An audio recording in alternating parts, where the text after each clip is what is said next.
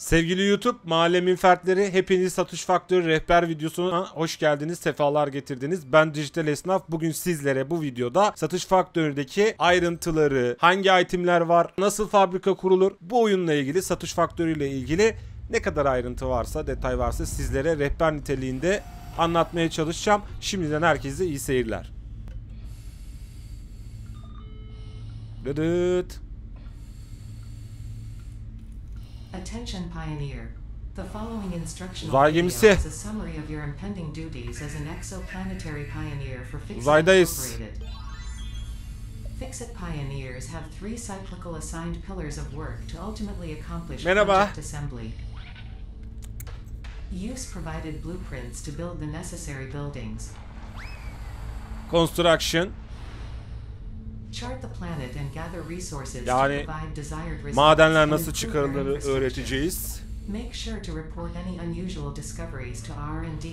Nasıl toplayacağınızı, cevherleri nasıl toplayacağınızı göstereceğim. Ağırlık bastı çocuğu.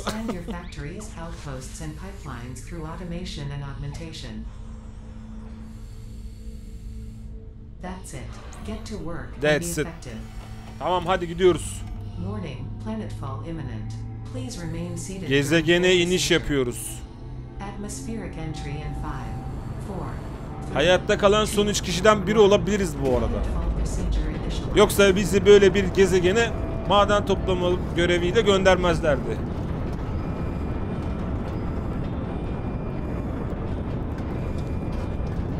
Hmm, alevler çıkmaya başladı.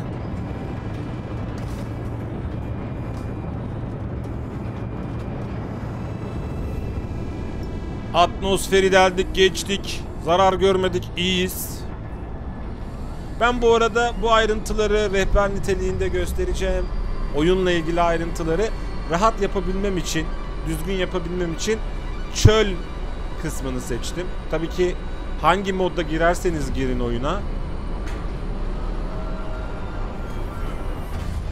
Tek bir harita var ve haritanın bayağı büyük olduğunu söyleyebilirim.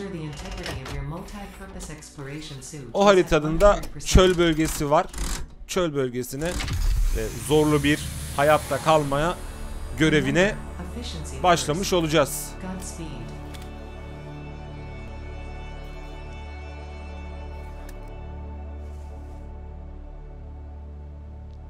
Evet. Gel Allah. Geldik. Ben bunun içinde miydim ya? Massage 2 ABB, your designated sector in the binary star system of 2 A, Alpha. 2B gezegenine gelmişiz. Hoş bulduk. Yira.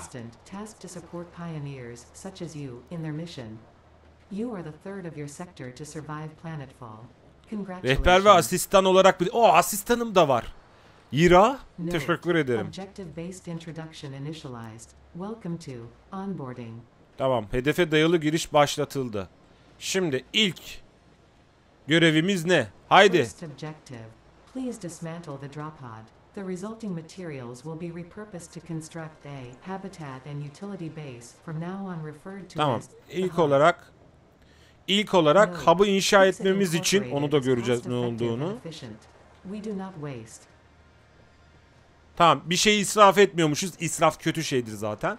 Hemen şuradan uzay aracımızı bir F'ye basarak sökelim.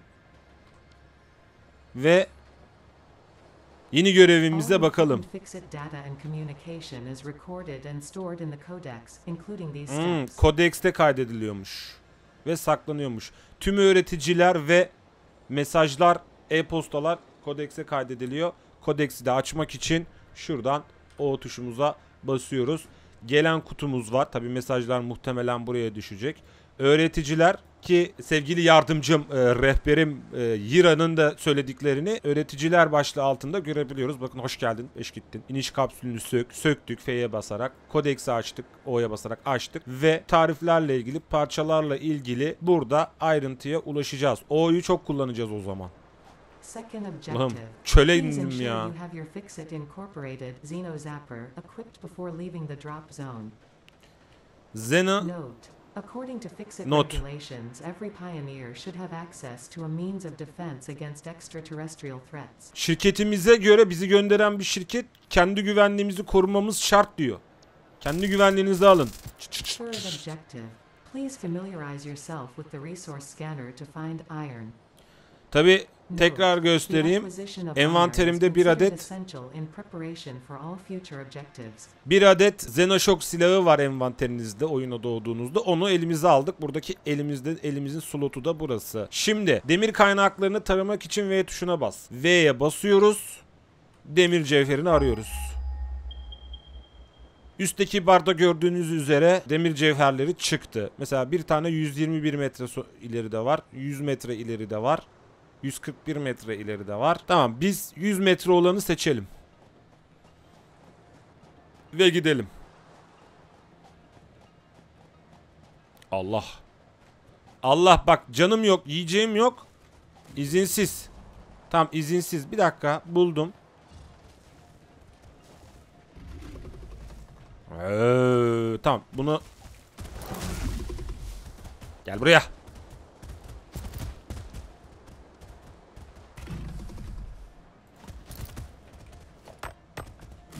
Şuradan demir cevherini bulduk. Neyse canımız var. Şunu bir alalım. Şurada da yemiş var. Bu gördüğümüz yemişler de anladığım kadarıyla canımıza katkı yapıyor. Mesela ne topladık? Zümrüt yeşili kuru yemiş. Hemen buradan bize öğrettiği gibi silah elimize alırken zümrüt yeşili kuru yemişi elimize alıyoruz. Yiyoruz ve neredeyse yarıdan bir barın yarısından fazlasını dolduruyor. Hemen ikincisi de yediğimiz zaman fullendi. Şimdi bu gördüğünüz demir cevheri. Şöyle de daha bir yapayım. Bakın 10 metre. Kaynak noktalarında birikintilerden kaynak çıkarmak için eğiti şuna bas. Geliyoruz demir cevheri topluyoruz. Fourth objective. Build the hub. Şimdi Note, to complete this objective, the resources salvaged from the drop pod will be consumed. Ensure Evet, evet, evet, evet. open terrain close to the presence of iron sources. Failure to do so will likely result in non-optimal progress. Şimdi az önce biliyorsunuz ki mekiğimizi söktük, kapsülümüzü söktük. Çünkü neden? Hub yapacaktık. Satış faktörü de oyunun başlangıcında hub nasıl yapılır? Verimliliği arttırmanın en iyi yolu hub'ı demir noktalarının yakınına inşa etmektir. Hub'ı Q ile açıyoruz. Gördüğünüz üzere Q'ya bastığınız zaman hub'a tıklıyorsunuz ve önünüze şöyle bir base base diyebiliriz. Kendi evimiz diyebiliriz. Tabi bunu birazcık şöyle demire yakın bir yere dedi. Bize birazcık da düz bir yer lazım. Kaynaklarımıza yakın. Burada ne var? Sülfür var. Dur.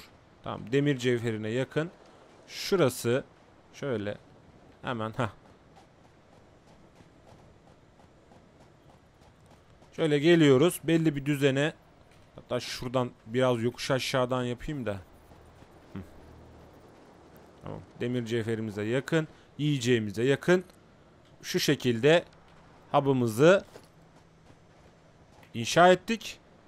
Congratulations, you have unlocked Hub Feature Manual Craft Bench. Hub Feature Hub Terminal. Fifth objective. Ve Yardımcımız the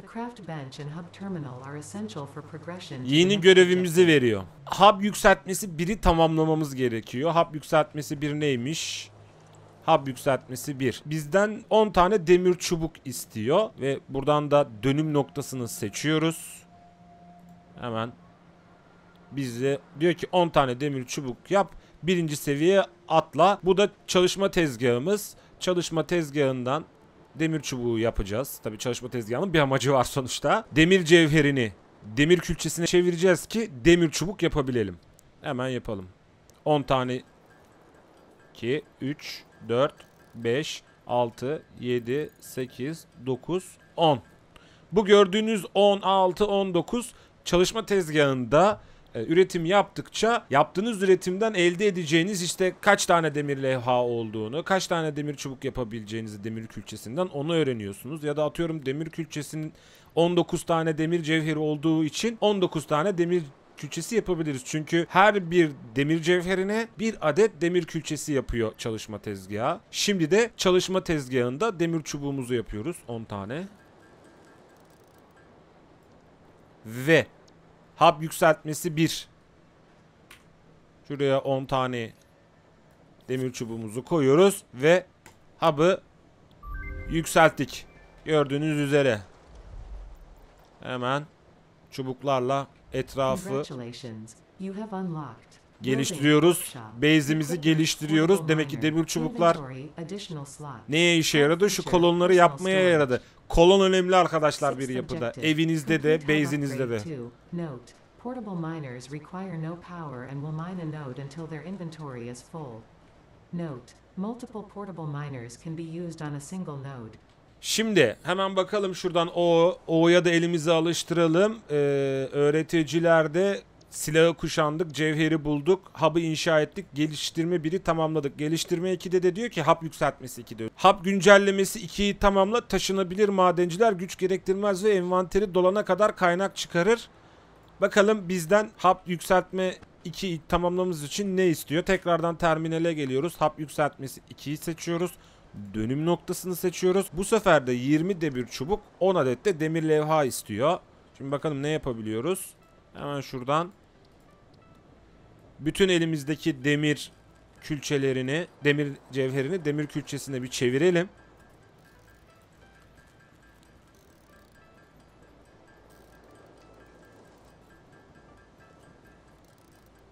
Çevirdik. Mesela birazcık daha demire, demir cevherine ihtiyacımız var. Hemen gidelim şuradan toplayalım. Bu arada elimizde de yiyecek yerine şuradan kendimizi savunmak adına elektrikli çubuğumuzu alalım.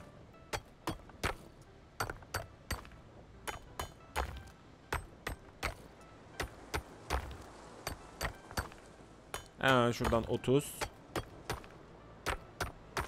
36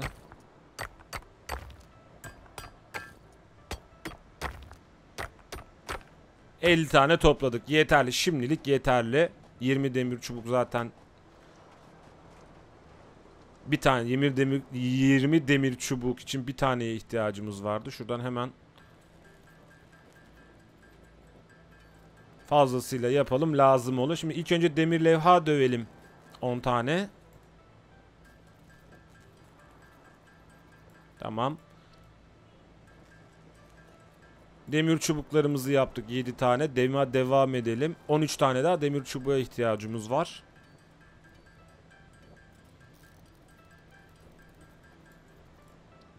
Tamam. 13 hatta. Yapalım.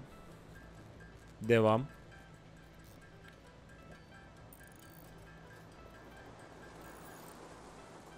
Şuradan 1, 2, 3. Heh. Hemen dönüm noktası. Bu arada ilk hub yükseltmesi biri yaptığımız için bizi bir de bize burada san depolama alanı verdi. Sandık verdi. Bu da işe yarıyor ileriki zamanlarda. Şimdi 20 tane demir çubuk, 10 tane levha. Demir levha hemen şuradan. Aha duvarlar geldi. Yeni binalar, yeni parçalar, yeni taranabilir alanlar açıldı. You have unlocked hub feature biomass burner. Allah. Biraz yüksekte copper. kalmış. New buildings and recipes which can be found in the build menu and craft bench respectively.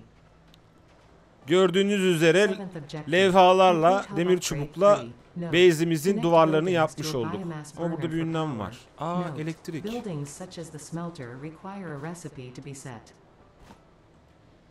Advice: Automate the smelting process and use portable miners for optimal results. Evet. Hub yükseltmesi 3'ü tamamla demiş. Hub yükseltmesi 3 nasıl yapılır? Hemen şuradan bakalım ne istiyor bizden. Oo. Tel istiyor. Gene demir çubuk istiyor ve demir levhası istiyor. Önden hemen şuradan dönüm noktasını seçelim. Ee, hemen şuradan öncelikle elimizdeki tüm demir külçesiyle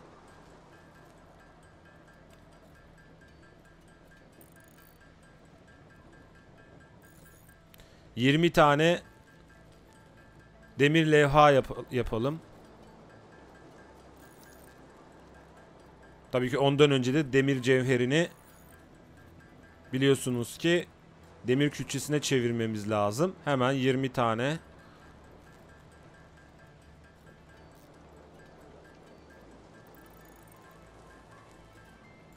20 tane tamam. Hatta 22 oldu. Şunu şuraya koyalım. Şimdi gidelim biraz daha demir cevheri toplayalım.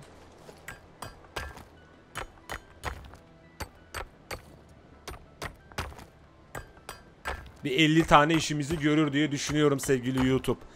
Siz de bu rehber videoların devamını gelmesini istiyorsanız lütfen abone olmayı, yorum yapmayı, pamuk ellerinizi beğeni butonlarından eksik etmeyin efendim. Çünkü destekleriniz çok kıymetli. Şimdiden bu esnada da belirteyim bunu. Hemen 60 tane demir cevheri topladık. Koşuyoruz. Shift'e basarak koş koş koş koş koş. Hah. Hatta bak burada da yapabiliriz. Şimdi demir külçesine çevirelim. 20 tane de demir çubuk yapalım.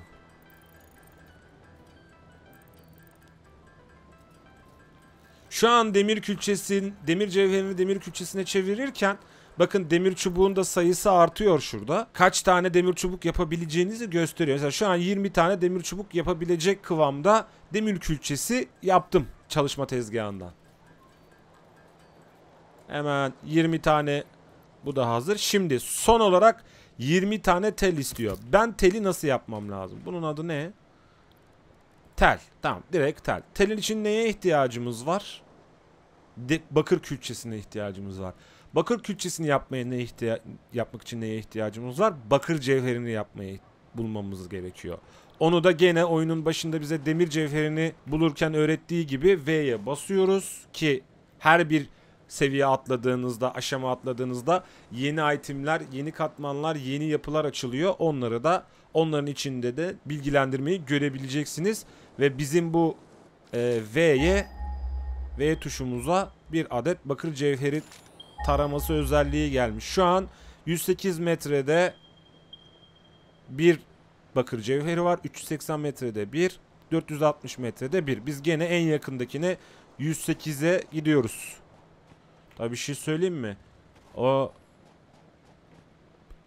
yaşlı kurtumuz vardı orada bizim. Şuradan biraz açıktan. Aa bu ne? Aa kömür. Neyse kömür topladım 6 tane.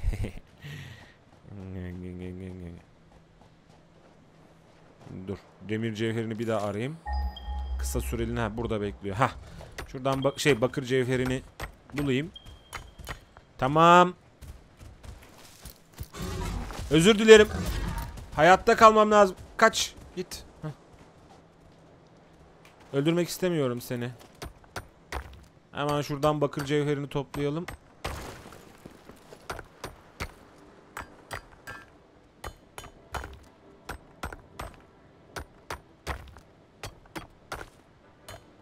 Kırk.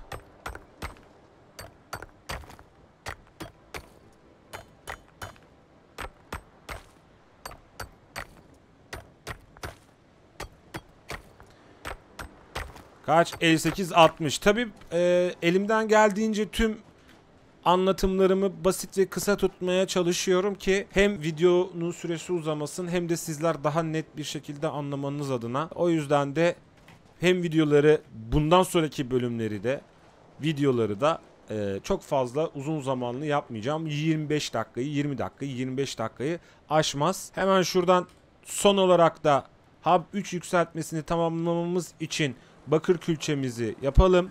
Bakır cevherinden. Bakın gördüğünüz gibi tersi 10 tane yapabilirim. 12 tane yapabilirim. 14 tane yapabilirim. 16, 18, 20 tane yapabilirim. Şu an bakır külçesini de tele çeviriyorum. Bu çalışma tezgahı muazzam muazzam bir şey. Tamam. Evet bu vesileyle de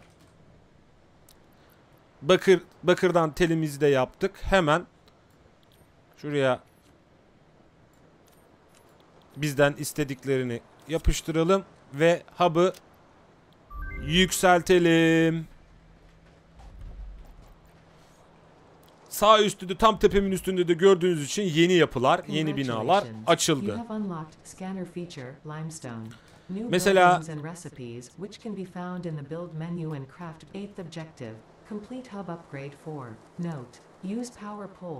Tamam. İra, optimal İra bir dakika. Mesela hap 3 yükseltmesiyle hangi ödülleri toplamışız? Mesela üretici bir parçadan başka bir parça üretiyor. Yani bizim çalışma tezgahımızdaki yaptığımız işi otomatik hale getirmek için bir üretici e, binası bu. Elektrik direği ödülünü kazanmışız. Beton bulabil yapabilecekmişiz. Vida yapabilecekmişiz. Güçlendirilmiş levha yapabilecekmişiz. Ve tarayıcı güncellemesi yapılmış. Yani V'ye bastığımızdaki tarayıcının güncellemesini yapmış ve içine kireç taşı koymuş gördüğünüz üzere. Kireç taşını tık diye V'ye bastığınızda kireç taşını seçtiğinizde 357 metre, 429 metre, 562 metrede kireç taşı madenini cevherini bulabiliyor olacaksınız. Şimdilik ben bu bölümü efendim burada noktalıyorum. Ee, abone olmayı, yorum yapmayı unutmayın. Destekleriniz kıymetli. Satış Faktörü Rehber serisinin devamı için pamuk elleriniz lütfen beğeni butonlarından eksik olmasın ve bildirim çarklarını açın ki sizlere paylaştığım videolarım ve canlı yayınlarım bildirim olarak gelsin. Destekleriniz için şimdiden teşekkürler. Görüşmek üzere esen kalın. Bir sonraki videoda görüşürüz. Bay bay.